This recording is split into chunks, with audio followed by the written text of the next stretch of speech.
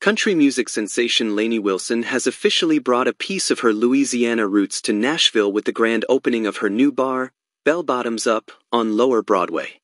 The grand opening event, held on September 17th, was a celebration of Wilson's long-held dream finally coming to fruition.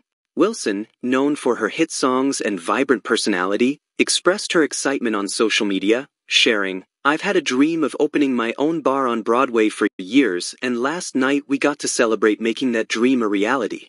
I've always said that if I ever had my own place, it would be called Bell Bottoms Up and I would bring a bit of Louisiana to Nashville. Bell Bottoms Up is not just any bar. It's a Louisiana concept kitchen and craft cocktail bar that offers a variety of signature dishes inspired by Wilson's home state. The menu features mouth-watering items like shrimp boils, crawfish crab cake sliders, broiled oysters, and Cajun pasta.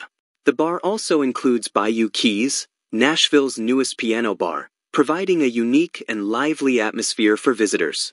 The grand opening was a star-studded event, with fans and friends coming together to celebrate Wilson's latest venture. The bar's Instagram account has been flooded with tagged photos from the event, showcasing the excitement and support from the community.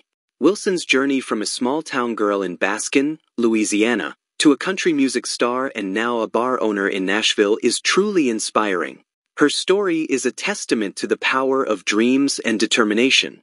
As she continues to make waves in the music industry and beyond, fans can now enjoy a taste of Louisiana right in the heart of Nashville. For those looking to experience Bell Bottoms Up, the bar is now open and ready to serve up some delicious Louisiana cooking and good times.